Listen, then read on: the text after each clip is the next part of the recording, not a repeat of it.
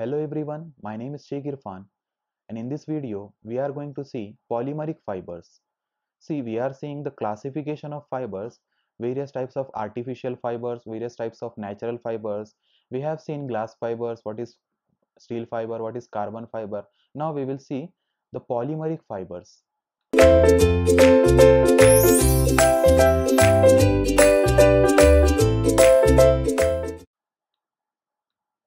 See which are polymeric fibers.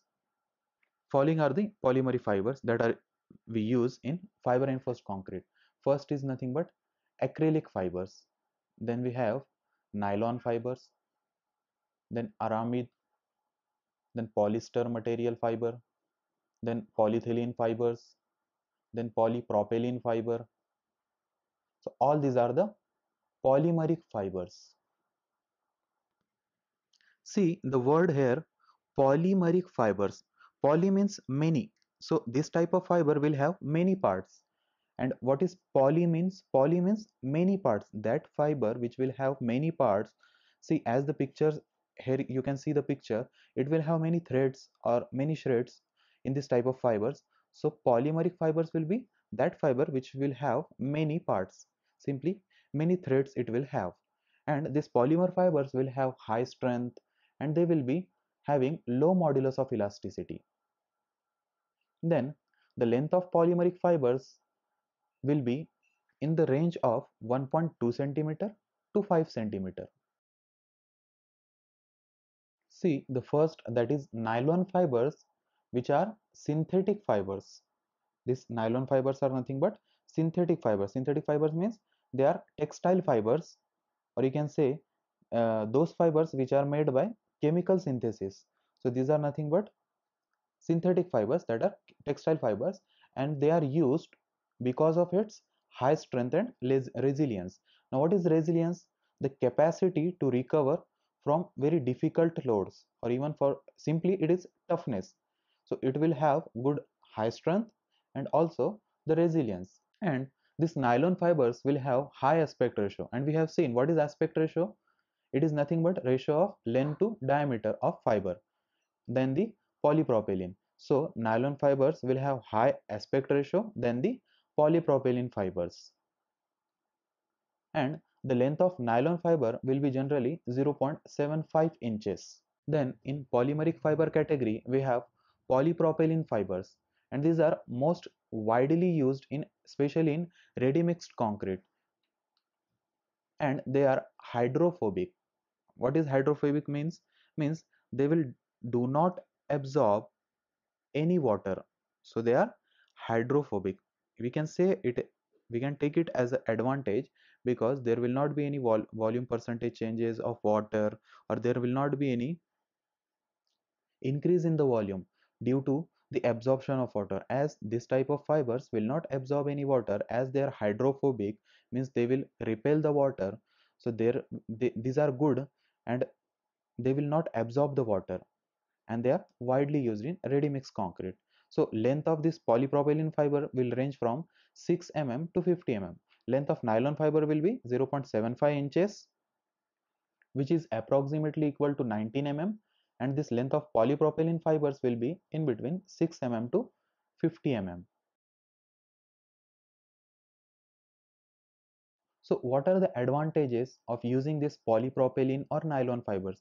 These are one of the most common or important poly polymeric fibers. So let's see what are the advantages it has. First, it will improve the cohesion of the concrete mix. Means our concrete will have proper cohesion if you are using this type of fibers. Then it also improves freeze and thaw resistance, especially in the regions of cold or where there are chances of snowfall our concrete may subject to freeze and thaw action that is in the colder regions the water will either freeze or it may thaw. And because of that there are chances of cracks in the concrete. So this by using this type of concrete it will improve the freeze and thaw resistance. Then improve resistance to segregation. What is segregation? Separation of constituent materials of concrete. So it will have resistance against segregation of materials means the concrete matrix will be act as a single homogeneous material and there will not be any separation of material. As i told you that this concrete will be cohesive enough that is opposite of segregation. So this type of concrete will be cohesive and it will be having good resistance against the segregation. Then it will have improved impact as well as abrasion resistance. That is it will be having good resistance against the impact and it will also have abrasion that is wear and tear resistance. So this type of concrete can also be used at places where there are chances of impact to the concrete such as factory floors then industrial building floors and abrasion resistance especially in the pavements where there are chances of wear and tear of the surface due to the vehicles.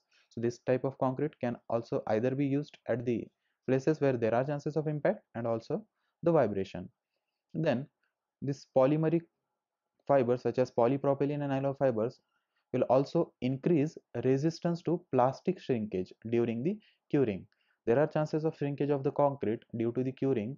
So at the time of curing it will reduce the shrinkage and it will resist the plastic shrinkage.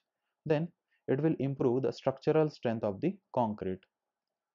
Then reduce the steel reinforcement requirements because as we are using this type of fibers so the main steel that is conventional steel requirement will be less or reduced due to using this type of fibers. Then improved ductility.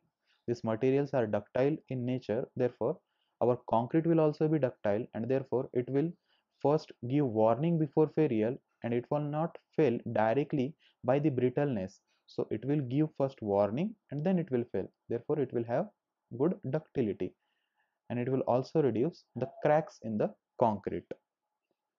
So this was the video about polymeric fibers. And we are seeing the classification of fibers and these are nothing but artificial fibers. We have seen nylon fibers polypropylene polyester fibers.